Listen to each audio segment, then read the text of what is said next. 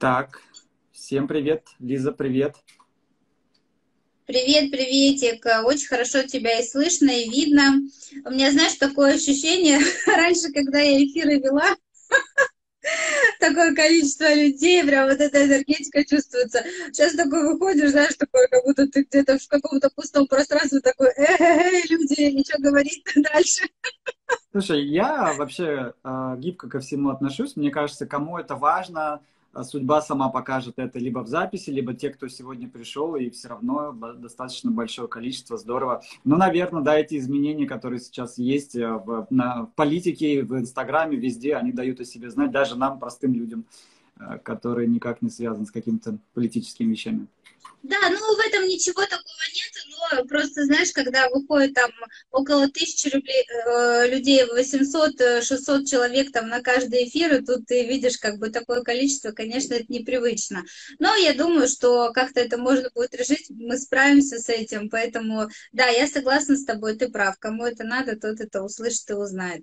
Константин, в общем, я тебе полностью в руки отдаю нашу аудиторию, э, девушки все очень тебя ждали, все э, писали э, все писали обратную связь до того, как э, все это произошло, да, и, конечно же, э, в Телеграме мы получаем сообщение в WhatsApp о том, что ну сообщите нам, как там прошел вебинар, мы не сможем посмотреть. И, конечно, все это будет сохраняться на моем канале YouTube, поэтому все, кто будет смотреть записи, смотрят сейчас в YouTube, как будто бы, да, уже на будущее говорю, э, я, конечно, желаю вам внимательно посмотреть и послушать. Кость, в общем, рассказывай э, тему про себя, мы все очень рады тебя видеть.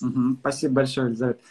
А, ну что, милые леди, всем привет. А, я думаю, что сегодняшний час у нас пролетит незаметно, тем более тема актуальная, которую вы сами для себя выбрали.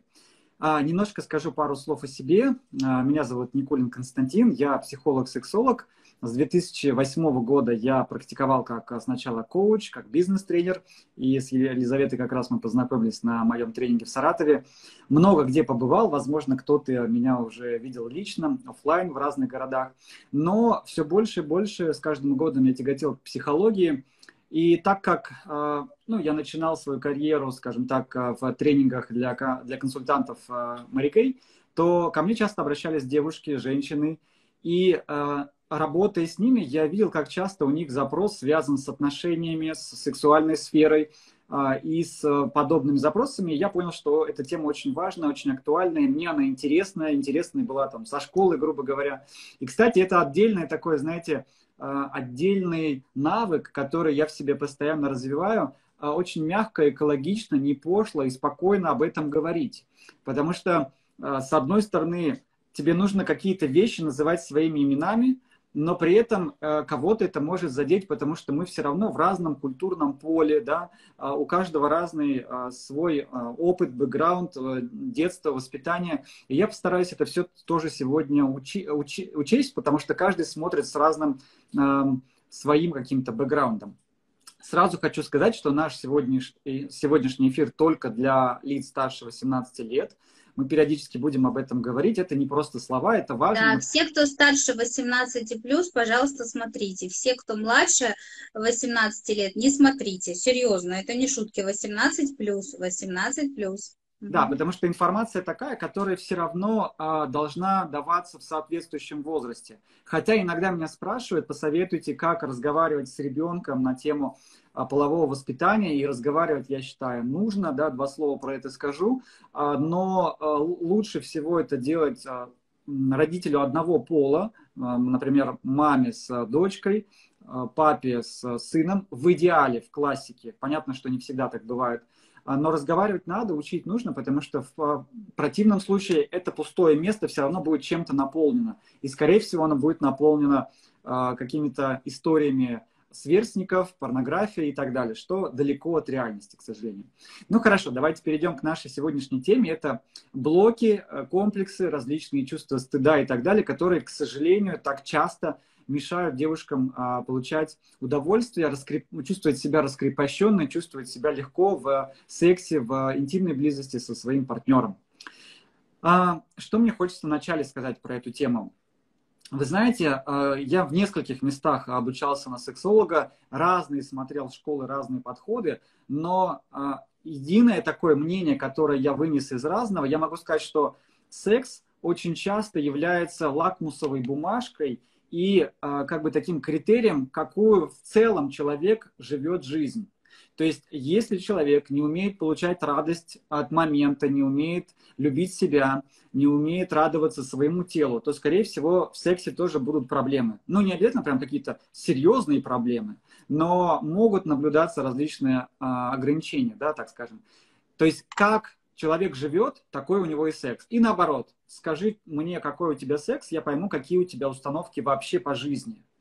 А, но я не хочу как-то, знаете, секс возводить в, во главу угла и говорить, что все должны, обязаны им заниматься. Вообще сразу хочу сказать, что есть такое понятие, как асексуальность, а, и оно до конца еще не изучено. Э, многие ученые, сексологи, психологи спорят, дискутируют на эту тему, но есть люди, которым вообще не хочется и никогда не хотелось заниматься сексом. Пока не доказано, с чем это может быть связано, это врожденное, это генетические какие-то вещи или это все-таки приобретенные. Мы будем в большей степени говорить о том, как мы приобретаем, ну мы, я как бы присоединяюсь к девушкам, как девушки, как мы приобретаем, люди, в принципе, мужчины тоже приобретают определенные какие-то комплексы, чувство стыда и так далее, а, что мешает в будущем. Не буду говорить а, про какие-то вещи, которые мы наследуем, хотя явно что-то может быть на генетическом уровне тоже, просто пока не изучено. И я бы очень уважительно относился к каждому, кому нравится много и часто заниматься сексом, кому это нужно вообще раз там в год. И я встречал таких, причем как и мужчин, так и женщин. Я хочу немножко развенчать тот миф, что всем мужикам нужен секс. Нет, я встречал мужчин, своих клиентов, которые говорили, что зачем, это только нужно для зачатия, мне не нравится, мне не хочется этим заниматься, а вот жене подавай часто и много. И причем а, иногда мне так бывает забавно. Одна пара, которую я консультирую, да, я часто консультирую еще и семейные пары, и вот в одной паре мужчине нужно часто, а в другой паре женщине нужно часто. Я думаю, вот как бы вас познакомить между собой, вы бы так идеально друг к другу подошли. Ну, это, конечно, шутка, но я думаю, как несправедливо бывает судьба. Очень да? профессиональный подход. Да-да, как несправедливо бывает судьба по отношению к людям, да, что прям явно люди с сильной половой конституцией а, живут с а, людьми, например, со слабой половой конституцией. И мне хотелось бы пару слов об этом сказать, что есть такое понятие, оно было введено а, в 70-х годах про профессором Васильченко, а, половая конституция. А, и это не только врожденные, но и приобретенные факторы влияют на это, но во многом и врожденные тоже. То есть грубо говоря, один, например, человек может поднять э, там, штангу 40 килограмм, не тренируясь, другой мужчина может поднять там, 100 килограмм, не тренируясь. И вот то же самое с нашей сексуальной э, половой конституцией. То есть кому-то нужно много и часто по природе своей, а кому-то нужно редко и там, немного. И это как как наша внешность, как наше физическое развитие. Это нужно учитывать.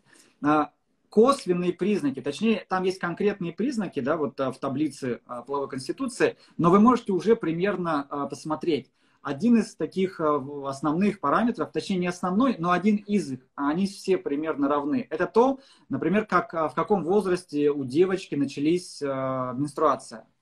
И чем раньше считается, начинается менструация у девочки, тем больше вероятность, что у него сильная половая конституция. А потом там стиль овласенения на лобке, да, это тоже говорит о определенном гормональном фоне, а гормональный фон влияет на нашу половую конституцию. Ну и так далее, в том числе и там, как девушка вынашивала, в каком возрасте она испытала первый оргазм, это все может характеризовать ее половую конституцию. У мужчины один из основных таких параметров а, сильной и слабой половой конституции – это тоже первая там, эрекция, в каком возрасте наступила, это максимальное количество эякуляции, ну, либо половым, полового акта за сутки. И э, в любом возрасте, то есть в подростковом, скорее всего, чаще это бывает, да, у кого-то бывает это один всего лишь, и ему нужно, то есть он физически может в следующий раз только через неделю. И вот сейчас важно понять, это норма, то есть это укладывается в рамках нормы, это не значит, что с мужиком что-то не так, и если у вас такой партнер, не нужно ему говорить, иди к врачу, у тебя что-то не так. Нет, это может быть норма. так и верхняя граница нормы, это когда, например, мужчине нужно, ну там прям в таблице 9 раз за сутки. То есть это а тоже... Что это, что это за таблица, Костя? А, таблица определения э, э, половой конституции в книге, в учебнике Васильченко, там еще в 70-х э, годах. Да, то есть и знаете, возраст тоже на это не всегда влияет. А я встречал клиентку, которая говорит, у меня мужу 55, он э, курит как паровоз, выпивает, но ему вынь да положь два раза в день. Вот каждый божий день два раза. Это его норма, ему там 55 лет. А кто-то уже в 30 лет с таким образом жизни, куря и э, там, когда пить, э, пьешь алкоголь, да, ты уже чувствуешь себя по-другому. Ну хорошо, мы не будем в это углубляться, но я бы хотел, чтобы вы это уже понимали, что мы все пришли в этот мир разные, с точки зрения физиологии. И это нормально, что у вашей подруги, например, очень какой-то яркий, легкий оргазм, она его испытала с первого раза там, в 17 лет, например, с первым своим половым партнером, а вам 30, и вы, допустим, ни разу не испытывали оргазм. То есть это все норма, а, все, что это все укладывается в норме, не нужно ставить на себе крест. Вы знаете, а, нередко ко мне первый вопрос, который задают по сексологической теме, я не только как сексолог консультирую, точнее даже сексологические запросы это процентов 30-25, с которыми я работаю. В основном это темы психологического толка, но они ведь все переплетены, как я сказал вначале, как мы живем, такой у нас и секс. Так вот, очень часто спрашивают, там, скажите, а это нормально, что у меня вот так вот? А людям очень важно почувствовать свою нормальность. И а, понятие нормы, оно очень большое, так очень широкое, очень относительное. И я хочу сказать, что вот разная половая конституция – это нормально. Что же делать дальше? Например, если вы чувствуете, что тема секса – это такая тема, которая, ну, потаенная для вас, э, в которой явно вы ощущаете какие-то блоки. Во-первых, как это может ощущаться? Начиная от того, что э, вы, чувствуете, вы чувствуете, что только в, в постели а, вы можете расслабиться только при выключенном свете, в определенное там время, с определенным партнером, кто-то только после алкоголя. А, это, опять же, норма, но это может говорить о том, что, возможно, у вас есть где здесь раскрыться, где здесь развиться. А, другая, например, часть э, тоже нормы, но тоже может говорить о том, что Например, у меня была клиентка, которая не могла физически прикасаться к своим половым органам даже в душе, просто когда она мыла себя. Настолько это, эта часть ее тела была табуирована, запрещена для прикосновений, и, ну, фу, какая мерзость. Но понятно, что она не родилась с этой мыслью. Понятно, что она этому как-то научилась. Ну и в ее случае это был, было научение от мамы да, а, когда она ей напрямую говорила, что это грязь, что там не трогай, она заставляла даже ее спать, положив руки на а, одеяло.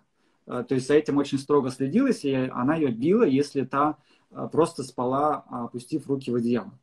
И это, конечно же, не проходит бесследно. Я сейчас вам такие, может быть, какие-то старшилки немножко рассказываю, но... Ну да, 18 плюс. Нет, ну это просто некоторые те, кто, может быть, не связаны с психологией, сексологией, но сердечки идут, значит, угу. кому-то, видишь, это важно и интересно. Просто, э, ну, у меня тут вообще как бы такие темы не обсуждались никогда. Ага. Ты корректируй меня. И ну, я думаю, что женщинам все равно это интересно, конечно. Э, просто это уже более такое профессиональное, ты говоришь, да, и как бы если этим люди не интересуются, и у каждого, понятно, своя там сексуальная жизнь, но э, все равно, ну, что-то интересное, да, вот видишь, сердечки пошли, значит, девушкам нравится. Mm-hmm. Дайте нам, пожалуйста, больше обратной связи, комментарий обязательно в конце включим. Угу. А, Дальше, спасибо большое. Ты знаешь, я сейчас поймался на мысли, наверное, мне очень просто, и мне всегда было на, на эту тему просто говорить с любым человеком абсолютно, потому что, наверное, моя мама врач, но она, правда, глазной хирург, она не, не гинеколог, но она очень открыто со мной, кстати, говорила вот об этих темах, ну, когда я уже был подростком и даже старше, и вот это спокойное ее отношение к этой теме, что да, вот есть такие вещи, что будь аккуратней, можно, там, девушка может забеременеть, ты будешь нести за это ответственность. Ну, какие-то такие вещи. Это было так полезно, и в меня это встроилось. Но есть куча э, семей, в которых эта тема запретная, страшная, грязная, позорная. И, к сожалению, это сфера нашей жизни, которая полностью может быть вычеркнута у человека. Ну давайте продолжим. Что же делать в таком случае? Да? А если вы, вот сейчас пока я говорю какие-то такие крайние моменты, но вы, может быть, что-то у себя откликается, да, что-то происходит. внутри, и вы чувствуете, что да, наверное, здесь не все идеально. А, ну, как вы поняли, то есть первое, мы как будто бы научаемся этой сфере. Так или иначе, глядя просто за своими родителями, за тем, как они обнимаются, целуются, а затем там, какой у них, извините, по ночам стоны и охи. И это, кстати, противопоказано слышать ребенку ну, до, до 18 лет. И это очень важный момент. я знаю реально клиентов, у которых ну, были прям отклонения, ну, скажем так, это уже отклонение, когда мужчина заставлял свою жену заниматься любовью, сексом с посторонним мужчиной, а сам за этим наблюдал. И когда мы пошли, откуда у него это было, это было от того, что он однажды услышал, увидел, как его родители занимались сексом. И испытал определенные чувства, и это впечаталось. То есть поэтому а, все наносит на нас определенный печать. Что-то сильнее, что-то слабже, но в купе в целом это дает определенный отпечаток. То есть родительское воспитание, то, что мы слышали, то, что говорили наши бабушки, дедушки про это, как реагировали на беременных, молоденьких девушек наши родители, да, очень много это в нас встраивалось. И я думаю, каждый из вас, если повспоминает, может какие-то пословицы, поговорки, прибаутки родительские на эту тему вспомнить. Второй фактор для девушки очень важный – это как прошел ее первый раз. И тут, к сожалению, наша культура – молодых э, людей, э, воспитанных напорно с подросткового возраста. Я тоже в свое время... Костя, я хочу немножко это, да, тебя давай. поправить. У меня здесь очень много из ЕС, ага. очень много из СНГ, да, и ну, выходцы, все девушки, которые да. из бывшего СССР, но в основном они живут в странах ЕС. У меня очень большое количество, ну, процентов 30-40 угу. из моих подписчиков здесь и у них мужья иностранцы. Культуру не обобщаю, всех по-разному. Да, Потому хорошо. Что есть и арабские страны, да-да-да. Что... Я просто знаю, какая обратная связь прилетит. Угу. Да, да, спасибо тебе. Да, я больше привык э, с русскоговорящей в России аудитории, поэтому ты подправляй. Я, говоря под нашей, буду говорить про российскую больше, но э, каждый на себя, да, э, переводить момент. Так вот, о том, что, к сожалению, все равно, в какой бы культуре не были, практически редко где а, встраивается бережное, чуткое отношение к девушке с самых юных лет. Это большая редкость среди подростков, мальчиков. А мы знаем, что многие нарушают законы, вступают в половую связь рано. И сколько клиенток, которые обращаются ко мне с вопросом, казалось бы, а, не могу испытать оргазм. И когда мы идем в первый опыт сексуальный, как правило, там не было чего-то вау, чего-то хорошего, а очень часто там было что-то очень неприятное и дискомфортное. И, конечно, когда твой первый опыт, такой импринтинг, встраивание в тебя внутрь происходит какое-то негативное, то эта вся сфера окрашивается в дальнейшем в такой негативный цвет. И это второй важный фактор – того, а, как, какой был первый опыт. Да, и, к сожалению, его не, ну, как бы не отменить, но с помощью определенных техник можно перепрожить, сделать так, чтобы он стал более позитивным. Ну и третий фактор, а, например, невозможности раскрепоститься, раскрыться с вашим партнером, это то, какой сам партнер и какие отношения у вас. Я всегда, когда провожу вебинары или онлайн-эфиры на тему отношений, Самое главное, я не устану про это говорить, разговаривайте. Вот просто сесть и поговорить это гораздо лучше, чем считать. Но он же мужчина, он же должен догадаться. Или она же девушка, но она должна там что-то делать. Вот должна это слово, которое напрочь убивает а, любое отношение. В сексе слово должен или должна убивает любую спонтанность и вот эту интимность, близость. Поэтому откажитесь в своем мышлении даже, не то, что так говорить, но ты должен или там ты должна, уберите в своем мышлении даже фразу «должен» или «должна». Замените ее хотя бы там «мне было бы приятно», «мне важно», «мне интересно», «мне бы хотелось». И э, начните разговаривать о каких-то своих предпочтениях, о каких-то своих пожеланиях, о том, задавайте вопросы, что тебе нравится, как бы ты хотел, давай вот это попробуем, или вот это я точно не буду никогда пробовать, у меня сейчас такое ощущение, что это точно под запретом.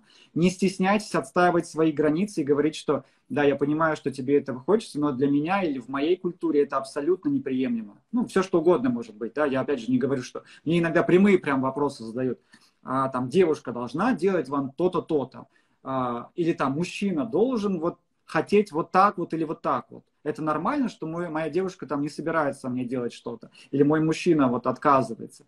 Вот нет такого понятия нормально. Знаете, в сексологии есть а, такая тоже фраза, что то, что нравится обоим, не является извращением. И, ну, она немножко такая утрированная. То есть, если вам нравится, если вы договорились, при этом не страдают третьи лица, такие как дети, или там вам, допустим, нравится на улице заниматься любовью, и не страдают люди, которые мимо проходят на улице от этого, то это нормально. А, да, ну и вы физически там не страдаете, потому что так под это и садомаза будет на, нормально. Но здесь есть вопрос к тому, что какая степень, да? Так вот, а, что же делать? Ну, если с партнером какие-то сложности, разговаривать. А, есть такое понятие, как секс-терапия, а, которая создала, создана была там в 60-х годов Мастерсом и Джонсон, а, сексологи начинающие, они прям брали пары и научали их друг с другом взаимодействовать так, чтобы обоим было приятно, да, и оба испытывали там оргазм. Причем они прям это все исследовали, они подключали различные датчики, замеряли, а, брали какую-то статистику. И не знаю, если вам интересно этот, а, этот момент, такая цифры, то вообще а, в норма, то есть даже считается норма, то, что девушка может испытать оргазм, были такие случаи, за 25 секунд всего лишь с партнером, длина полового члена у которого была всего лишь 5 сантиметров. То есть, когда говорят, что там мужчины переживают, у меня маленький размер, или там э, девушка говорит, я, мне нужно, чтобы было долго.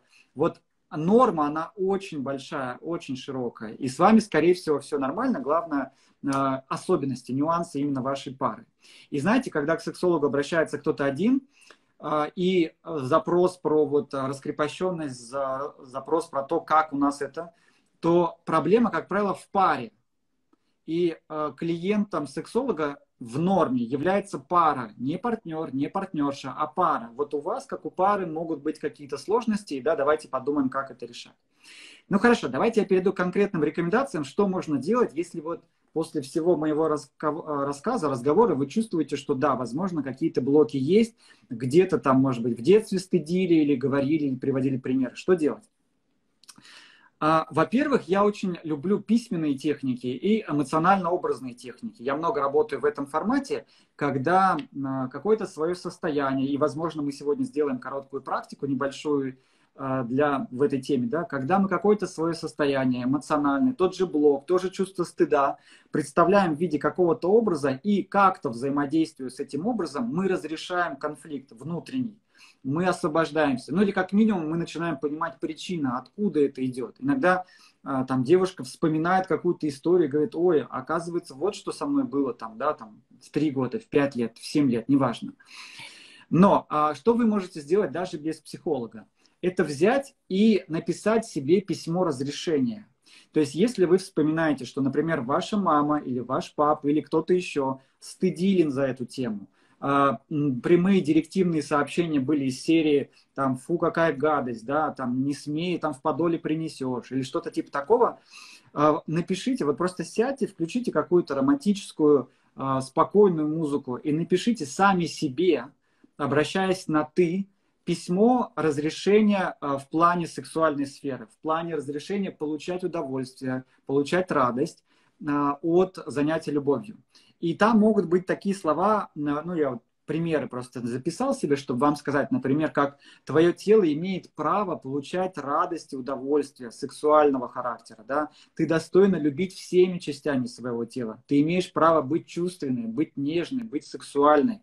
И это как, знаете, принимать за 30 минут до еды, ну, грубо говоря, раз в день просто перечитывать, э, вдумываясь в эти слова и давая разрешение действительно самой себе иметь на это право, иметь право хотеть что-то, иметь право принимать вообще какие-то части своего тела. Потому что когда мне говорят, ну вот а как правильно называть половые органы ребенку? Ну вот когда его обучаешь, гигиене, например, я говорю, подождите, ну э, вот локоть вы как скажете? Локоть. Глаз вы как назовете? Глаз, да, там а вагина или половой член, они так называются медицинские. То есть даже если ребенок там что-то у него заболит, и он придет к врачу, э, бывают такие даже проблемы, ребенок не может а, объяснить, где болит, да, например, девочка. Она просто будет говорить там. А для врача это тоже сложность.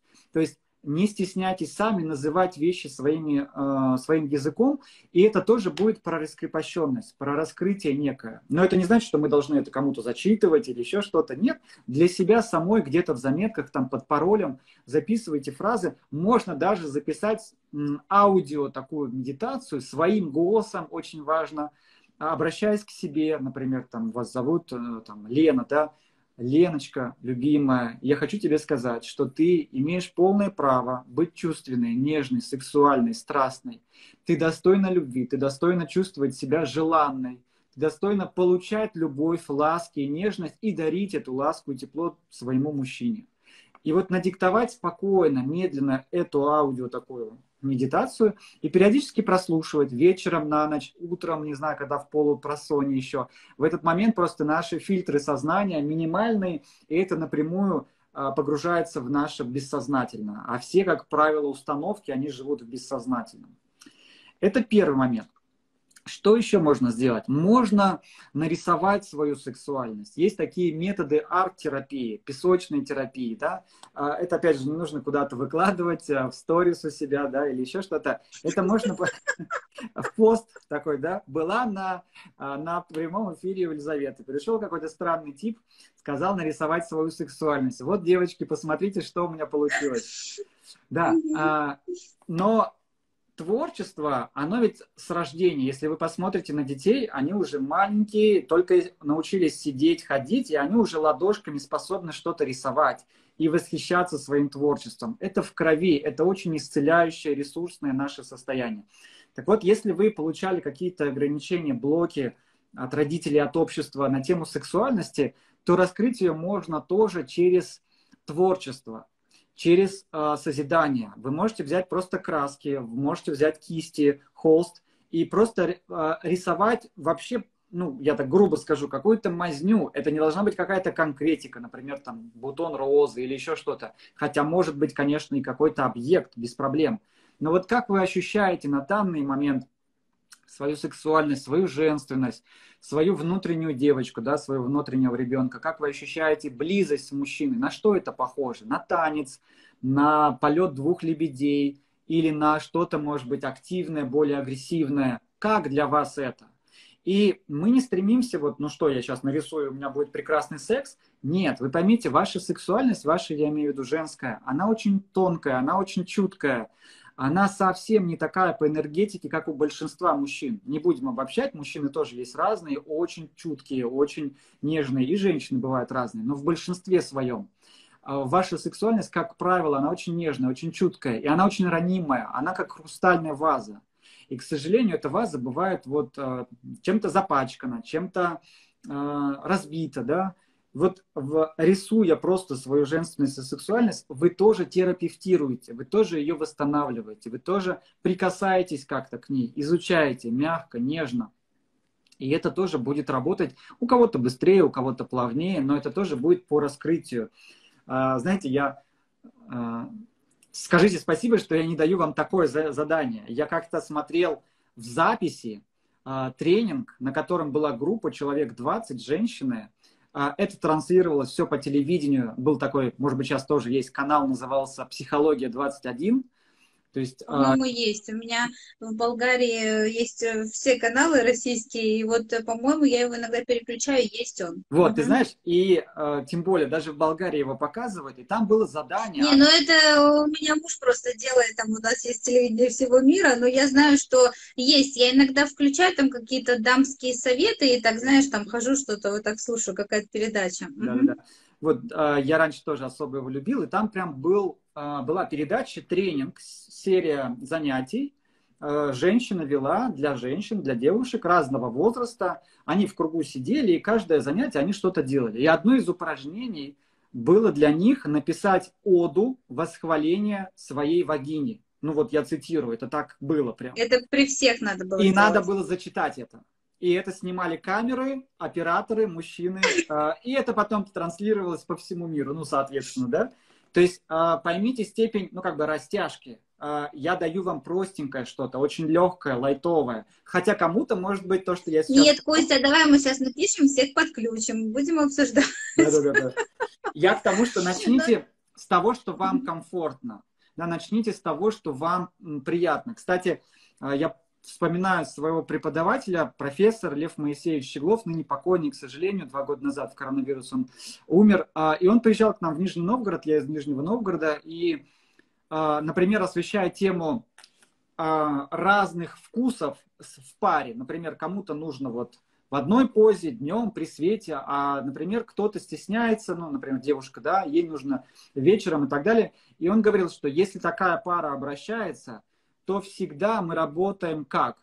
Мы, а, например, если парню хочется больше разнообразия, ярче секс и так далее, то всегда мы парня, а, его вот эту, ну, не парня, партнера, скажем, который хочет больше разного, притормаживаем, а его двигаем скорее к девушке и девушку чуть-чуть к нему чем а, он остается на месте, и мы говорим девушке, ну а что такого, попробуй, вот то, что он хочет, это же здорово. То есть очень бережное, чуткое отношение должно быть к этой сфере, и у вас в том числе э, к самой себе.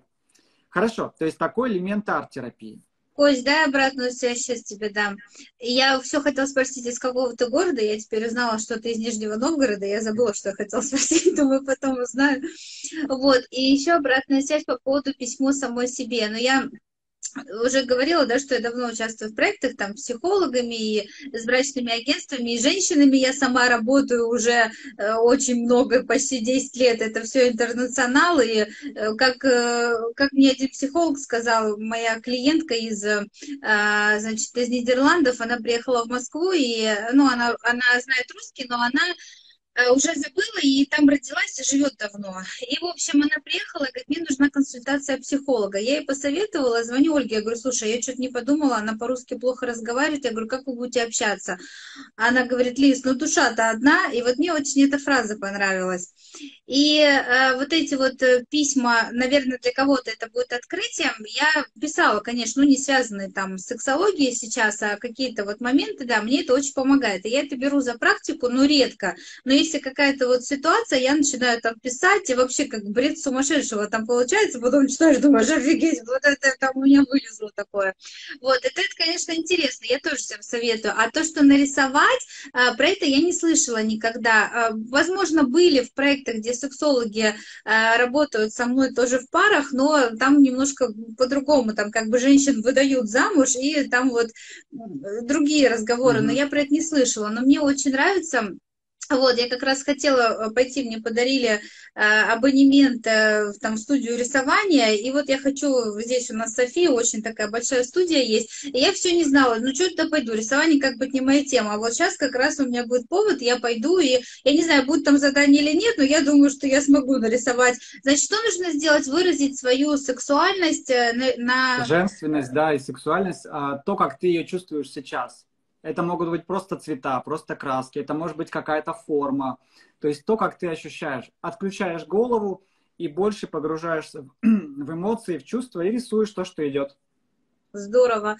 Вот, и еще хочу сказать, у меня одна а, участница курсов была, она э, нарисовала мне мандалу. Ну, mm-hmm. наверняка знаешь, что это такое. Вот, и э, я не очень этим увлекаюсь и интересуюсь, но мне она нарисовала такую огромнейшую, она у меня дома в России висит, и она такая розовая, золотом, серебром, там она всякие стразики понаклеила, и вот она как-то увлекается вот этим рисованием мандалы, и она мне сказала, что Лиза, это твоя сексуальность и твоя женственность, там, спасибо, что ты даришь э, женщинам красоту, и вот это символизирует тебя. Но для меня это просто как картинка, но а, она вот пользуется такими вот услугами, что к ней обращаются, и вот она рисует других людей, вот там эмоции, и вот сексуальность и женственность. То есть я что-то сейчас вот это вспомнила. Mm-hmm. Да, есть такие направления целые, арт-терапии, которые только в этом направлении работают и э, так раскрывает разные аспекты личности, в том числе и сексуальность и женственность. Угу. Так, хорошо. Отлично. Так, супер, дальше поехали. А, давай, да, дальше. А, смотрите, а, сексуальность и женственность – это те аспекты, которые напрямую связаны с нашим телом. То есть сложно представить себе сексуальность а, в отрыве от тела. И есть такое направление, как телесно-ориентированная терапия, психотерапия. И э, здесь тоже не нужно этого избегать. Что здесь можно сделать? Э, ну, если говорить самый такой тоже лайтовый вариант, это остаться, оставшись одной дома, э, завязать себе глаза лучше, ну, либо закрыть, включить какую-то музыку, можно без музыки, и просто начать танцевать а, через танец выражая свою женственность и сексуальность. То есть этот танец не должен соответствовать каким-то канонам и правилам. Да, вот у меня, например, дочка занимается спортивным бальным танцем. Там есть четкие Да, я, кстати, видела. Такая красотка. Несколько сторис ты там выставлял. Да-да-да, спасибо большое. Так вот, это не, не такой танец должен быть, да? Это должен быть танец вашей души, вашей внутренней девочки, а, вашей сексуальности – и не для того, чтобы кому-то продемонстрировать. Нет, вы одна в комнате с закрытыми глазами, даже сами не смотрите, не оцениваете. Максимально убираете в этот момент оценочный фактор. И танец может длиться сколько угодно. И 2 минуты, и 10 минут, сколько вам захочется. Я однажды проходил... Сутки, сколько хотите, столько танцуйте. Да, да, да. да. Пока, главное, с перерывом на еду. Я однажды был а, на мероприятии, где нас было таких ну, 20 человек, причем и мужчины, и женщины. Но мы были все с, в повязках, и мы танцевали полтора часа под а, разную музыку, под а, шаманский бубен, а, под какие-то колокольчики. Но вот такого состояния релакса, расслабленности, ну, там был большой зал, мы практически не касались, случайно иногда где-то там пересекались, но это было что-то нечто, да, когда ты танцуешь а, не из головы, так, типа вот такое движение сейчас делаю, такое, а из тела, как будто тело само умное и показывает те импульсы, которые нужны. Вот здесь примерно то же самое. Ведь секс можно сравнить с танцем двух партнеров, да, и э, для того, чтобы танцевать в паре, нужно самой сначала научиться танцевать самой собой. И это потрясающий способ для того, чтобы выразить себя. Мы про выражение. Сексуальная энергия, она творческая, она выразительная. И это Константин, извините, перебью. Mm-hmm. Я сейчас за кадром уже слышу вопросы своих подписчиц. А если это сделать вместе с мужем, ну, как бы договориться, да, а мужчины, мужчины же не всегда на такое соглаша, соглашаются. Это женщины такие более социально активные, там, я, я, я, а мужчины, ну, сам знаешь, да, есть, конечно, которые там поддержат, но могут так сказать, да, ну, что там за фигня, да. Mm-hmm. Вот, а как э, это можно мужу, например, своему предложить или там парню, парню, ну вот, чтобы вместе это сделать, и объяснить, для чего это надо.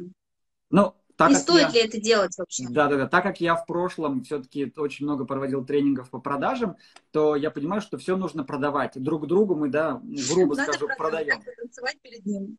А, по-разному может быть. Можно начать с того, что мне бы хотелось для тебя станцевать. А, можно начать с того, что, а, ты знаешь, мне бы хотелось что-то новое добавить в нашу интимную близость. Как ты смотришь на то, чтобы абсолютно выключить свет и а, потанцевать друг для друга с закрытыми или с открытыми глазами?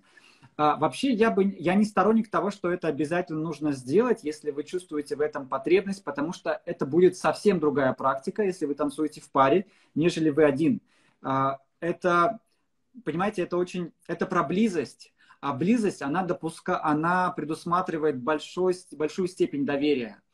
И если вы mm-hmm. чувствуете, что в вашей паре есть такая степень доверия, что если я проявлюсь перед своей супругой или я проявлюсь перед э, мужем, по как-то странно, неожиданно, он не обесценит это, даже взглядом. Он не потом как-то мне это не припомнит. Вот если этого ничего нет, попробуйте. Но, скорее всего, вы даже не зададите такой вопрос, стоит ли пробовать. Вы почувствуете, что да, супер это сделать с мужем. Можно же просто взяться за руки и смотреть глаза в глаза друг другу. Я тоже был в такой практике, когда мы полчаса смотрели, не отрываясь в глаза друг другу. И в этот период можно подарить гораздо больше любви, чем во время там ласки и массажа. Это, это какой-то другой язык, но это тоже язык, который понимают наши души. Как ты хорошо сказала, душа-то у всех единая.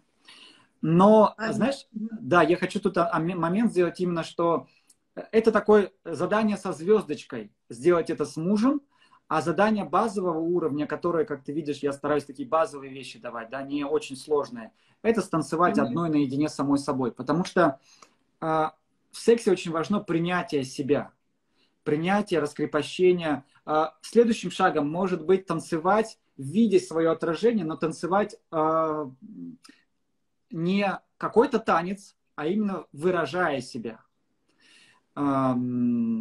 И еще какой момент я здесь хотел сказать? А, про принятие. Есть очень простое упражнение, а, оно называется упражнение зеркала. И в одном из своих видео я тоже об этом рассказываю. А, Наверное, ты тоже об этом слышала, когда я предлагаю девушке взять зеркальце или большое зеркало и смотреть, глядя на себя, и начать вот тому отражению, которое она видит, увидеть, во-первых, в ней живого человека, увидеть себя со стороны и сказать ей какие-то очень важные, ценные, мягкие а, слова, ну, приятные комплименты. Не говорить там, ты такая красивая, но вот нос у тебя большой. Нет, так не принимается. А, просто похвалить, а, просто сказать, что я рада, что ты у меня есть. Ты очень красивая. Мне нравятся, какие у тебя глаза. Мне нравятся твои пышные губы. Мне нравится твоя тонкая шея прям а, искупать саму себя вот в этом потоке любви, принятия, одобрения. Замечательная практика, я такое тоже не слышала, прям супер. Mm-hmm. Это вот, э, девушки, слушайте, это всегда помогает нам в создании образа, когда особенно мы делаем макияж. Я всегда на своих курсах э, говорю, что ищите больше достоинства, чем недостатки. Это, знаешь, там э, какой-нибудь фестиваль, вот я помню, проходил там Мисс э, Россия, там она там на Мисс Мира презентация, или там, э, допустим, вот я работаю там Звезды Болгарии, да, там в проектах там с косметикой Seventeen Radiant, еще кто-то. Мы сближаемся, когда начинаем общаться, ну, я как профессионал должна это сделать, и я со всеми Э, в близком контакте, скажем так. И когда мы уже второй, третий раз встречаемся, я уже понимаю, что она говорит, а у меня там уши торчат, ноздри у меня широкие, я там такая и такая, она там звезда, на нее там пол Болгарии, Румынии, там вот сейчас я вела вебинар, да, там молится, там, вау, она там идеал, а у нее в голове вообще. И что бы ты ни сказал, все вот она такая вот, и как бы вот эти вот э, недостатки, которые чаще всего про себя женщины знают, я думаю, что эта практика поможет как бы научиться принимать, которые она сама себе в голове нарисовала. Да, ты знаешь, я поймал себя сейчас на мысли, что мы с тобой, по сути, занимаемся одним и тем же. Это украшаем людей, но делаем их краше, ярче, проявленнее. Ты внешне, а я с душой. Ну, с разных сторон, но про одно и то же. И одно без другого не может, а, и то без первого не может. Да? То есть а, вот эта гармония, что я люблю, принимаю, горжусь своей красотой изнутри и снаружи, это очень важно. Почему? Потому что во время близости, по статистике, а, очень часто девушки думают о том, как они сейчас выглядят в глазах партнера. Ну, не знаю, подтвердишь да. ты или опровергнешь. Да. Тоже и постоянно это слышу. Это угу. просто очень мощный блок, который все физиологическое удовольствие сводит на нет, и психологический вот этот блок, а, а как там, не висит ли у меня где-то что-то, да, нет ли у меня там целлюлита, а вот он сейчас это увидит, это, эти мысли блокируют как раз женскую сексуальность и проявленность в моменте. Поэтому э, начните с того, чтобы принимать себя в зеркале. Опять же, задание со звездочкой – это э, быть перед зеркалом абсолютно ногой и посмотреть просто на себя вот такая, какая вы есть, э, полностью обнаженная, и дать себе принятие, любовь и похвалу вот такой, целое, целому образу, не только лицу, не только верхней части тела, а и всему. Прям, знаете, это даже не только в словах.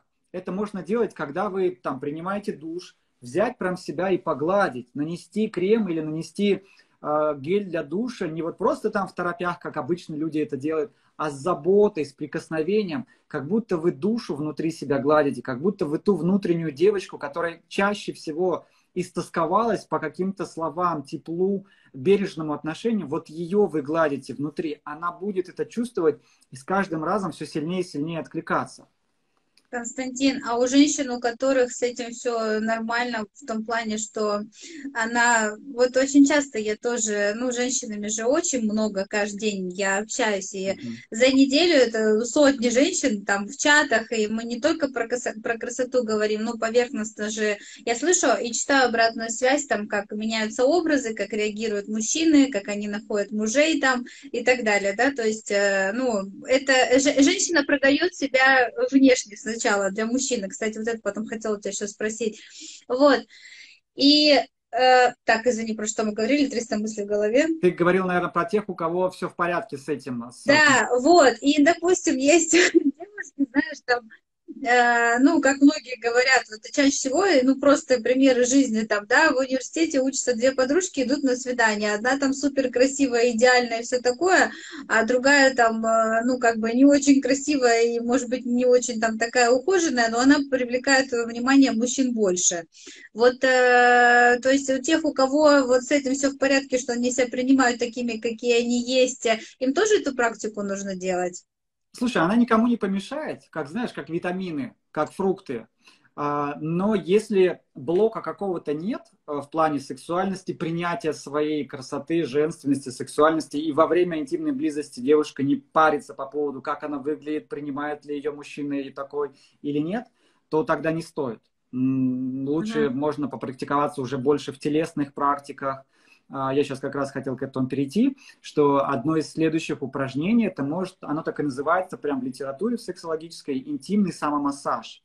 Причем это не, не про то, что мы должны заниматься там каким-то какой-то мастурбацией, да, нет, это про ласки своего тела, а, про а, признание, про прикосновение. Причем прикосновение, если вы задумаетесь, у нас в коже, вот не знаю, медики должны подтвердить, врачи, в коже есть разные рецепторы, которые отвечают за чувствительность надавливание, тепло, холод, скорость а, прикосновений, ну и так далее. То есть а, варианты прикосновений могут быть такие разными и так по-разному нами интерпретироваться, что нам кажется, что а, вот некоторые мужчины считают, что эрогенные зоны у девушки это как кнопки. Пять минут вот здесь жмешь, пять минут здесь, все, она как бы готова. Вот, откуда у них в голове эта информация, у вас точнее? Где вы это берете? Ты знаешь, мне прям хочется сказать, что слава богу, что у некоторых хотя бы эта информация есть. А есть, а, к сожалению, вот. много мужчин, у которых вообще нет понимания, что женщина, эм, женщина как-то должна там быть возбуждена мною в плане прикосновений. Я есть, я вот такой великолепный стою, все, ты должна хотеть. В фильмах так показывают. К сожалению, у многих у многих так, ну, знаешь. Я извиняюсь, что я смеюсь, но... Ну. Не-не, все нормально, я, знаешь, вообще без, без проблем. Поэтому, mm-hmm. э, если он хотя бы пытается как-то неловко, э, своими там большими мужскими руками что-то где-то ласкать, нажимать и целовать, это уже хорошо. То есть, э, как минимум, такой мужчина обучаем, скорее всего, он что-то старается, он не для себя, скорее всего, это делает, но для себя это, скорее всего, будет что-то грубое, нажатие, там какое-то такое, ну, как правило. А, а если он старается, если он тем более спрашивает, как тебе, как тебе нравится, это уже мужчина подарок, даже если он пока на, ну, там, во втором классе, грубо говоря, как любовник, не в, не в третьем, не в пятом, не в десятом, но он стремится обучаться, и вы можете ему показать и рассказать, как это. И, кстати, знаете, такой лайфхак, хитрый трюк, а, если говорить вот с точки зрения когнитивно-поведенческой психотерапии, даже поведенческой, мы э, люди, которые, у которых очень много рефлексов, ну, извините за такое сравнение, как у животных. Мне не очень близка эта тема, но она реально работает. А, то есть мы друг друга дрессируем. Ну, например, а, ваш мужчина делает вам массаж, и вы в этот момент как-то реагируете. Ну, постанываете, либо хвалите в, в этот момент. Это называется позитивное подкрепление. И вот просто ваша реакция может быть усладой для уж мужа, мужчины, и ему будет хотеться делать этот массаж чаще. И а, есть даже такая игра, а, очень простая, когда вы с вашим партнером, ну там, раздеваетесь в постели, вы ложитесь, и он как-то начинает к вам прикасаться, ну, делать какой-то массаж. И вы можете говорить только «да», это значит «продолжай», а, «нет», то есть попробуй что-то другое, или а, там «я, я подумаю», да, то есть «продолжай, но, но, но, возможно, я переделаю». И называется такие трогательные отношения, когда мы просто друг друга трогаем, и находим. Мы не, не комментируем как-то это, да, мы не говорим, что ну вот опять ты там своими грубыми руками там что-то начал делать. Мы просто говорим, да, здорово, и там попробуй что-то другое. И на самом деле это потрясающий может быть опыт друг для друга. Да, потом меняемся, ну там 10, 15, 20 минут наоборот. И мы лучше узнаем себя, и наша сексуальность становится гораздо тоньше. Это знаете, как съесть, можно наесться ведь и фастфудом, и гамбургером а можно почувствовать изыски высокой кухни или там классической музыки. Вот э, как-то у вас, скорее всего, же секс существует, ну, не тебя конкретно, да, Лиза, я имею в виду, у девушек. И если это ты уже это профессионально, да, ты клиента видишь уже на автомате. Как-то же у вас существует. Да-да-да. И а если он есть, и у вас он устраивает, да не нужно заморачиваться. Если он есть, но вас что-то не устраивает, вот а, нужно поработать, возможно, с рецепторами, с ощущением, как вы это ощущаете, как вы это чувствуете. Да? Вот все эти упражнения, они по сути про это. Про потрогать, про прикасаться, про... А, ну вот есть еще очень такое интересное упражнение, когда а, пара заходит в душ, и задача помыть друг друга без рук, не прикасаясь руками. Очень простое упражнение. Вообще никакой частью рук? Нет, нет, ладошками не прикасаясь. А, а ну то есть можно вот так да, вот, да, там да, ногами. Да. Да. Видишь, у тебя уже фантазия включается сразу. Да, я уже представила. Да, да, да. И это ведь тоже такой простой способ, доступный всем, как можно добавить что-то интересное, разнообразить. Так, хорошо, хорошо. Э, Лиз, давай, может быть, ты скажешь, что, э, что еще... Давай я одно еще упражнение скажу, оно такое телесное. Вот про интимный самомассаж я сказал, что это может быть э, про прикосновение любых участков тела столько, сколько вам хочется, так, как вам хочется, для того, чтобы понять просто, а какая я, какая моя сексуальность, где я себе запрещаю что-то, где мне приятно, где мне нет – Потому что мне же, ну, если хочется обучить этому моего партнера, мне нужно самой понимать, как это, да. Но опять же, у всех разная культура, у всех разное воспитание. И не делайте, если это претит вам, мои слова, если они не ложатся вам а, на плодородную почву. Но да, еще спасибо, одна... что про это сказал. Да, да, да. У то нас есть все будь... очень-очень разные, да. Конечно, если здесь у тебя люди со всего мира, очень важно, чтобы вы просто усредненный какой-то, взяли что-то, что откликнулось, то, что не откликается, знаете, как в магазине одежду, нет, это я не возьму в примерочном, а вот это я, пожалуй, использую. Но еще про телесно-ориентированную технику, что я хочу сказать.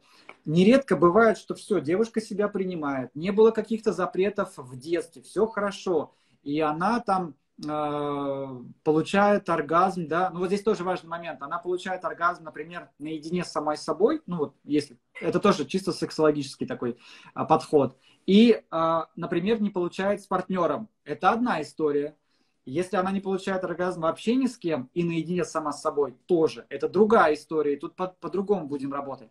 Но нередко а, блоки и зажимы, они, знаешь, на телесном уровне прям проявлены. Но замечала, например, когда мы чего-то боимся, мы сжимаемся. Либо если Конечно. у нас какой-то гнев, мы, у нас как будто вот из солнечного сплетения что-то поднимается.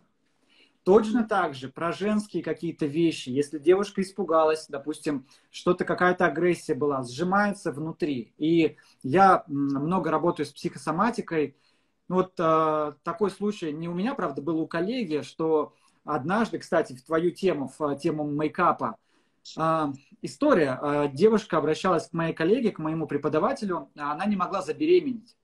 И э, так как я тоже и она работаем в эмоционально-образной терапии, она предложила, нарисуй, вот к вопросу о рисунке, нарисуй, как выглядит твоя матка.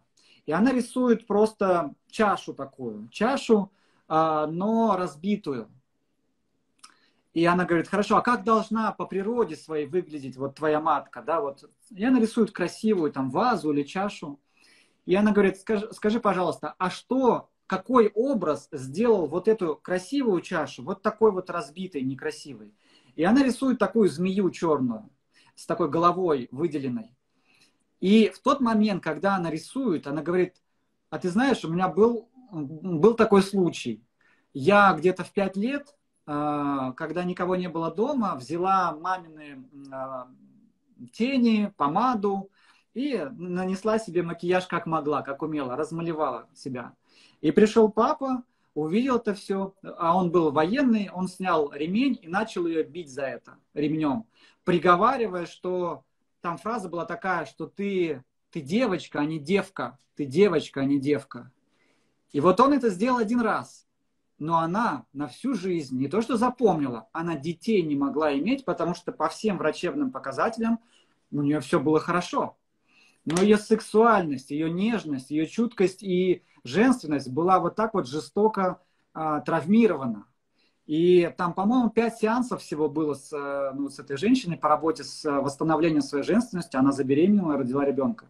Можешь себе представить? То есть, казалось бы... Да, Кость, я знаю такие истории. Угу. Вот э, еще раз повторюсь, я женщинами давно работаю, и каждую неделю очень много, хоть это и связано с макияжем, но на самом деле это очень глубоко. И вот в этом плане, что я часто, когда слышу обратную связь, вот мы собираемся там онлайн-выпускные, а, она говорит, спасибо вам большое, я никогда не носила там красную помаду или я никогда не делала макияж.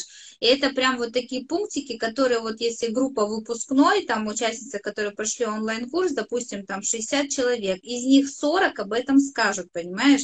И я даже, я у психологов спрашивала, ну, потом уже, как бы, когда ты с этим сталкиваешься уже на автомате, но потом, когда там женщины уже, знаешь, постоянно с психологами общаешься, задаешь уже сам наводящие вопросы, и потом выясняется, что вот ей там брат, а, когда ей было 15 лет, она поехала к бабушке в деревню, там на дискотеку собиралась, ну, вот из последнего, что я слышала, и он ей сказал, как проститутка выглядишь с этой красной помадой, э, не позорь семью там, и что-то такое. Ну, и, в общем, она, все, красная помада навсегда ушла. И вот спустя там от этой 15-летней до э, там 50-летней женщины, она все это время боялась этих красных красных помад, потому что как проститутка будет выглядеть. Mm-hmm. И потом, когда индивидуально я общаюсь, и мы, э, ну, только про макияж говорим, она начинает там, мы встречаемся, она говорит, ты знаешь, да, вот э, мне мой брат так сказала, я про это подумала. А потом, когда я уже э, на курсах побывала, я раскрыла себя, я сделала макияж,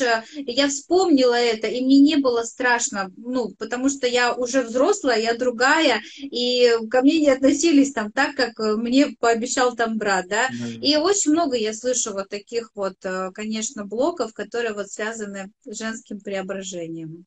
Да, и чтобы разблокировать эти блоки по-разному можно, да, и через рисование, и через образную терапию, и через танцы, танцевально-двигательную терапию. Но а, сексуальность, она еще сама по природе своей, когда она разогревается, она агрессивная, ну, то есть в хорошем смысле этого слова. И у некоторых девушек стоит блок на проявление агрессии. Ну, когда, допустим, родители говорили там, не злись, не кричи на мать, там, да, что-нибудь такое, запреты на проявление вот своих эмоций разных, немножко там э, даже каких-то диких животных. И вот есть очень простое упражнение, это то, когда э, ты делаешь определенное дыхание, ты делаешь глубокий вдох через нос и выдох, э, вдох делаешь в область низа живота, и выдох делаешь со звуком ха. Так, давай покажу вот так вот. Ха. Ха. Но прям со звуком. И ты знаешь, звук может меняться со временем, он может превращаться в легкий крик. Он может, то есть через звук выпускать те блоки, которые есть. И э, вот это вот дыхание ха, оно очень природное. Можно даже, если это делать стоя, прям потопать пяточками а пол, чтобы вот прям а, какое-то звенящее пошло чувство в теле, разогревать тело, разогревать вот это вот все свои внутренние органы через вот это глубокое дыхание, вдох-выдох, только будьте аккуратны, если там, не дай бог, у вас есть ограничения по там, сосудам, да, по сердцу, по, э, там, после инсульта, ни в коем случае такие вещи нельзя делать, да, вот это активное дыхание. Но если противопоказаний нет, я бы рекомендовал это поделать, прям вот так потопать, подышать, разбудить что-то внутри себя. Тоже, возможно, кому-то откликнется, можете взять с собой э, в практику это упражнение. Угу. Здорово, а, классно. Лиз, давай, может быть, к вопросам перейдем. У нас у меня да, да, да. Времени, да. Я тоже хотела тебе mm-hmm. предложить. Э, девушки, включаем комментарии. Пожалуйста, пишите свои вопросы, что вам интересно. Э, сейчас Константин нам э, ответит. И, Костя, я очень тебе благодарна. Интересный прямой эфир. Конечно, у нас впервые такие откровенные разговоры здесь, потому что мы говорим про макияж, про красоту, про женщин, про клиентов. Но так как у меня аудитория женская, это 99%, то я решила сделать эти бьюти-пятницы, чтобы делиться и много всего полезного, интересного рассказывать. Uh-huh. Друзей у меня много везде по всему миру, которые интересно могут чем-то поделиться. Поэтому, девушки, пожалуйста, спрашивайте все, что вам интересно. А, Константин сейчас ответит на ваши вопросы. И, конечно же, обратную связь хотелось бы еще прочитать от вас, что интересного вы узнали для себя. Uh-huh. Да, мне, знаешь, мне очень приятно, что у тебя именно женская аудитория, и мне э, легко и комфортно говорить, казалось бы, на такую тему с женщинами. И иногда я слышу, что а, мужчина, я не пойду к мужчине, да что он там понимает в женской сексуальности и так далее. Но у меня ощущение, что вот я просто с детства как-то больше с девочками общался. Часто э, мне доверяли какие-то очень тайные секреты. И мне очень легко на эту тему общаться, поэтому не стесняйтесь, задавайте те вопросы, которые вас э, интересуют. Я старался максимально корректно дать эту тему, да, чтобы никого не задеть, никого не обидеть, потому что тема острая, как ни крути, да, там секс, политика, вероисповедание. Это три темы, когда ты просто танцуешь на острие ножа. Кость, я сдерживала агрессию у дочки, э, говоря ей, что она не может так себя вести. Но послушав вас, поняла, что я не права. Угу. И вот еще эфир потрясающий. Спасибо за такие полезные советы. Скажите, пожалуйста, я слышала, что чем позже мужчина вступает в половую связь, тем выше э, его интеллект. Это так? Ну, здесь я могу только поделиться своими какими-то наблюдениями, потому что статистику я такой не знаю. А, но я знаю точно статистику, э, не скажу на основе какого это исследования точно, но нам говорили, что чем более, а, чем раньше вступает, неважно, мужчина или женщина в половую связь, тем менее а, постоянен этот человек вообще во всех сферах своей жизни. И чем позднее он вступает, кто-то в 25 лет, да, тем более консервативный такой человек. Вот это исследование есть, оно проводилось, а, это да. Насчет интеллекта не могу сказать. Так, вот опоздали на эфир, но в записи можно будет посмотреть, и также на моем канале YouTube дубли, дублируется. Как с мужчиной говорить о своей сексуальности, если он считает эти темы неприемлемыми? Хороший вопрос. А, есть у меня тоже такая техника, которую я нередко рекомендую, называется письмо мужу. То, когда а, тет-а-тет не удается поговорить, да, причем не только на тему сексуальности. Кто-то вообще не может говорить, я не могу с ним вообще никакую тему обсудить нормально. Но здесь, конечно, уже большой вопрос, а, что там за отношения. Но бывают какие-то темы, например, эту, которую сложно обсудить. Я рекомендую прям написать письмо. Написать письмо мужу, у меня даже есть, кстати, шаблон такого письма, и если нужно, вы можете добавиться ко мне, подписаться, написать мне в директ слово «письмо», я вышлю этот шаблон, как он выглядит, где очень подобраны фразы а, и формулировки, чтобы это было мягко, экологично, корректно, но дальше вы можете ставить свой текст и написать, а, что вам нравится, во-первых, уже, например, в близости, в отношениях с мужем, за что вы цените его, ну, что-то хотя бы, он что-то же, наверное, там полочку прикрутил, не знаю, отводит ребенка в садик, а, и что бы вы хотели добавить, что бы вы хотели улучшить, изменить, добавьте тоже вот эти фразы, заверните в конверт и куда-то положите ему, не знаю, в карман пиджака, костюма, в в портфель, еще куда-то, ну, на видное для него место. Только не нужно спрашивать, ну, как ты там прочитал, я тебе письмо ложила, да?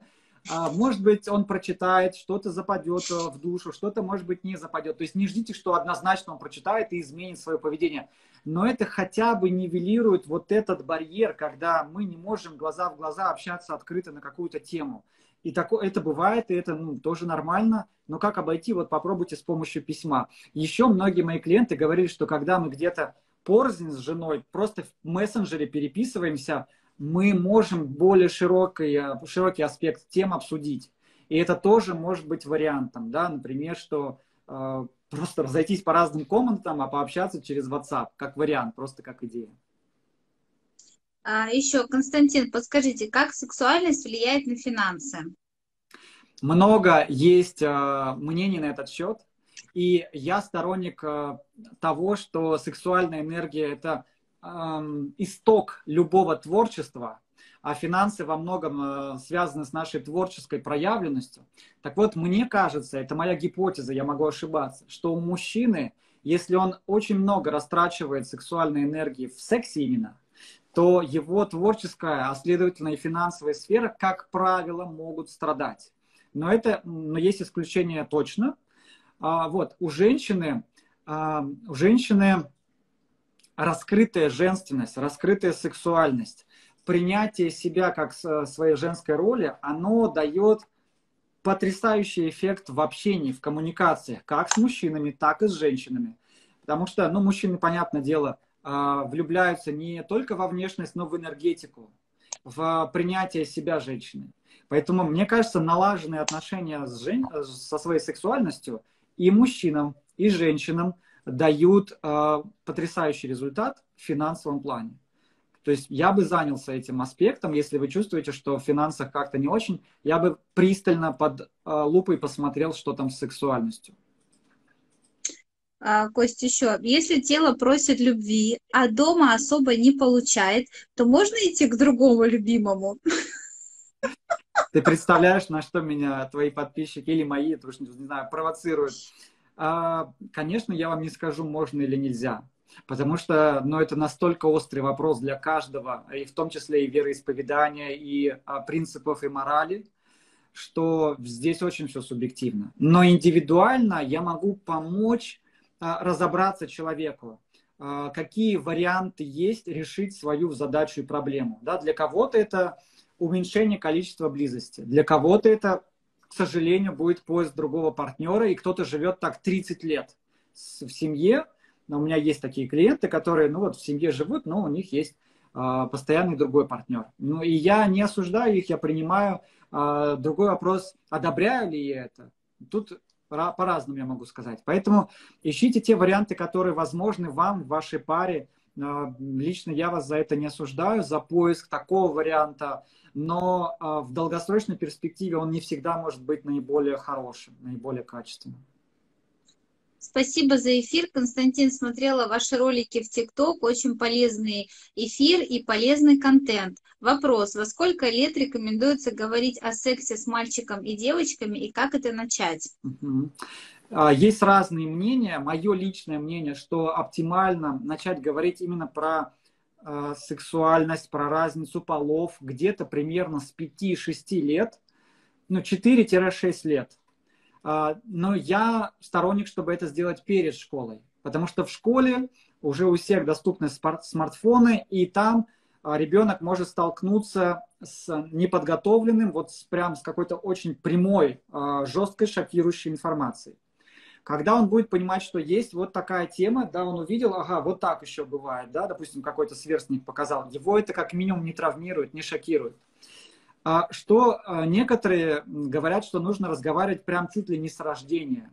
Но и здесь что имеется в виду? Про гигиену, про важность прикосновений, что, допустим, есть такое понятие правила трусиков, правила нижнего белья, что никто не имеет права прикасаться к тебе, да, к определенным частям тела, будь то это друг семьи, врач а, или еще кто-то без твоего разрешения на это. И это очень правильно, на мой взгляд. То есть сексуальность это очень широкая тема. Непосредственно про половой акт и близость, наверное, все-таки это а, уже ближе в школьном возрасте. Но а, про то, что есть разница полов, да, есть разные половые органы. А, есть настольные, ну, есть книги очень хорошие, например, а, книга Юлии Еременко «Интимный ликбез с родителями и без». Я рекомендую эту книгу. Также есть книга, я не помню авторов, такая она большая, красочная. Давай поговорим про это. Вот эти две книги потрясающе помогут вам вместе с ребенком посмотреть в картинках, и там такой немножко комикс как бы, да, проговорить мягко, даже если вы стыдитесь этой темы. А, но я рекомендую вот в возрасте, начиная с 4 до 6, там, 7, 8 лет, вот в этот диапазон, как-то уже касаться этой темы, потому что у ребенка в этом возрасте и так познавательный интерес активен, и вы просто говорите, что да, вот есть такая, такая тема, есть вот а, тема еды, тема, там, не знаю, путешествий, а вот есть тема устройства человеческого тела. Угу, отлично. Кость, ну, очень много слов благодарности. Э, всем очень понравилось, будут практику использовать, применять. Я очень рада, девушки, что вам понравилась наша сегодня бьюти-пятница. В принципе, как и всегда, меня это очень радует. Э, Константин, вопрос от меня. Э, скажи, пожалуйста, как важно женщине ухаживать за собой и меняться каждый день? И важно ли это для женщины? Угу. Ты знаешь, ну вот а, мой психолог внутри меня говорит, что самое важное принятие себя. Но с другой стороны, мы очень много живем в социуме, мы очень много живем и тоже смотрим на себя. И, на мой взгляд, а, очень важно дарить любовь к самому себе. Я постоянно, практически на каждой консультации, в какой-то момент сталкиваюсь с тем, что когда-то взрослый человек там, не принял отверг или критиковал своего внутреннего ребенка. Так вот, любовь к себе – это во многом забота, это во многом принятие, это во многом ухаживание за собой. И это речь не только о душе, там, выхвалить себя и так далее. Это в том числе и массаж, это в том числе там, и пилинг, и мейкап, а, это в том числе и спорт, какой-то фитнес, и то, что мы едим, поглощаем. Это все про любовь к себе. И, наверное, самое главное, что я бы хотел сказать, что изменения, они неизбежны, они происходят, и это нормально, то, что мы меняемся. Очень важно, чтобы вы шли в этих изменениях с ощущением радости, гордости себя, с наслаждением, с ощущением, какая я классная, красивая, элегантная, стройная, шикарная. И мне очень радостно и отрадно, что ты в этом помогаешь такому огромному количеству девушек по всему миру. Да, но э, я почему тебе этот вопрос задала? Я хочу э, просто еще, как бы я знаю за кадром вопросы, и сразу, чтобы нам время не тратить, э, смотри, очень многие часто задают вопросы, когда начинают работать, да, там, особенно вот я работаю с консультантами разных косметических компаний, ну и, конечно же, консультанты морякей, они работают со всеми. И э, то есть это не когда консультанты, с кем я работаю, которые в департмент-сторах, там, а в специализированных магазинах, к ним пришли люди, и они уже направленно пришли к ним, да, то есть им работать проще. А здесь э, как бы они всех женщин э, любых там социальных слоев, скажем так, да, любых возрастов, то есть работают со всеми. И, конечно, я очень часто на курсах слышу, когда мне задают вопрос, ну а если она только ресницы красит, а вот если она там, если только мылом умывается, то это хорошо. Я э, чаще всего вот из того, что я видела среди э, женщин э, всего мира, в 17 лет я работаю в бьюти-индустрии, чаще всего я считаю, что у женщины нет мотивации, для чего быть красивой и уделять себе внимание и ухаживать за собой. Это так, Кость? Да, я считаю, что, опять же, обобщу, но э, на постсоветском пространстве, на русскоговорящем пространстве очень много э, в наших предках и культуре. Это такое э, пофигистское отношение к самому себе. То есть это только работа, дом, дети. И мне больно смотреть на женщин, которые э, родили ребенка и превратились только в родителя, только в маму, забыв о себе, о своем, своей внутренней девочке, забыв о своей красоте, поставив на себе крест уже в 40 лет вообще, то есть прям все, это в 30 даже, в 35 уже ставят. Да, раньше, и, да, бывает. Да, да, да, и поэтому абсолютно верно, здесь нет мотивации, потому что человек уже как будто молодость прошла, и значит незачем. Нет, очень часто бывает, что самое интересное только начинается. Ну да, да, много историй могу рассказывать, как там мои клиенты, там, знаешь, до 50 лет они там макияжа не делали, потом мы жили в Штатах, они там звонили ночью моему мужу, отпустите Лизу, мы купим там бизнес-класс, чтобы она приехала и показала макияж, и я там, что случилось, там, прилетаю, я замуж выхожу, хочу, чтобы ты мне показала, только вот так. Ну, то есть мотивация такая вот uh-huh. сильная. Но это да, это, конечно, важно. И вот э, на, на своих курсах я как раз-таки этому обучаю, как возбудить женщину. И не дай бог, конечно, нам оказываться в таких ситуациях. Э, и поэтому тоже всегда и говорим. Спасибо большое. Ну, очень много э, слов благодарности здесь написали. Кость, спасибо тебе.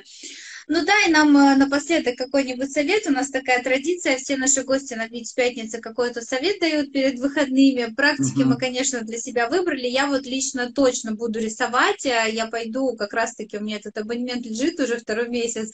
И я думаю, что я там буду делать? Ну, конечно, пойду там поучусь и обязательно воспользуюсь красками, нарисую там свою э, женственность и сексуальность, какой я ее вижу. Угу.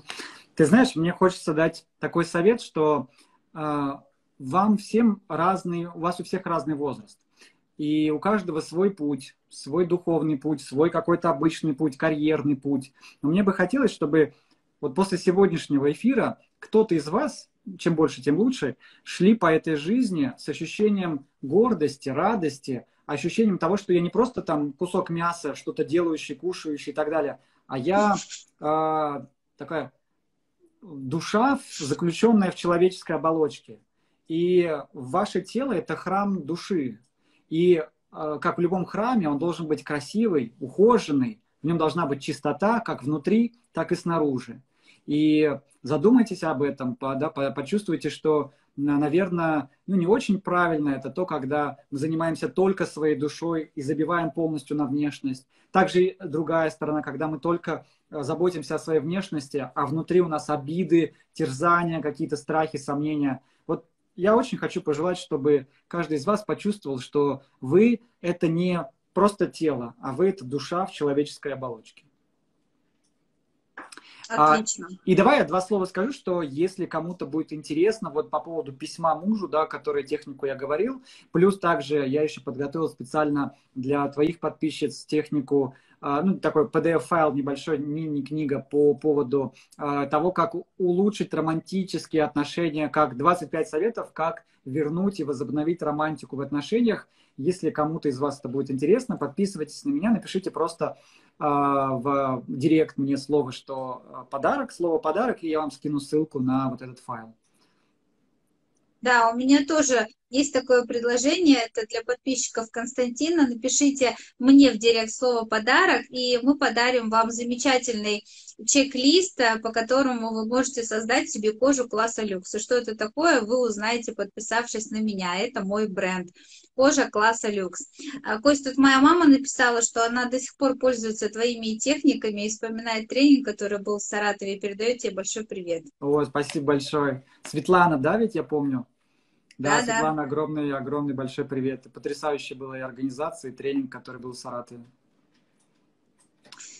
Так, ну что, дорогие девушки, будем прощаться. Очень э, были рады с вами поделиться. Конечно, количество людей чувствуется, что оно не такое, как всегда, но я думаю, что мы будем встречаться на а, площадках а, других или, возможно, также продолжим в Инстаграм. Но я Инстаграм свой оставляю, потому что у меня женщины со всего мира, и я рада всегда видеть э, здесь всех. И, Кость, спасибо тебе большое за интересные рассказы, за интересные э, техники, которые мы будем использовать и применять. Поэтому э, все, кто подписчики Константина, э, подпишутся на меня, пишите мне э, в директ Елизавета Майка про подарок. И мы отправим вам такой файлик, и там будет чек-лист. Но это только для подписчиков Константина, потому что мои подписчики уже много всего знают про кожу класса люкс.